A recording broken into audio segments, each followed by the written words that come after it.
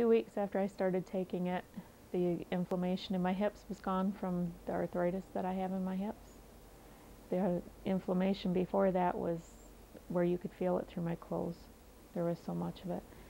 And the low back pain that I had, I was living on Tylenol arthritis every day.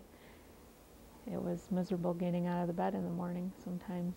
Sometimes I would just lay on ice packs because I couldn't do things that I wanted to do. And that took probably about a month where I really felt the benefits from the mangosteen helping my back. In December, I went in and had a hysterectomy. I had endometriosis and after trying other things, it was real apparent I had to have the surgery.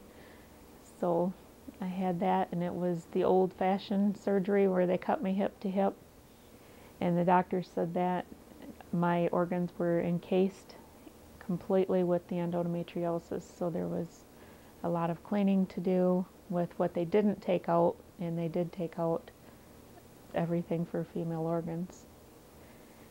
A week and a half later I was back to work after he told me I would be out of work six to eight weeks.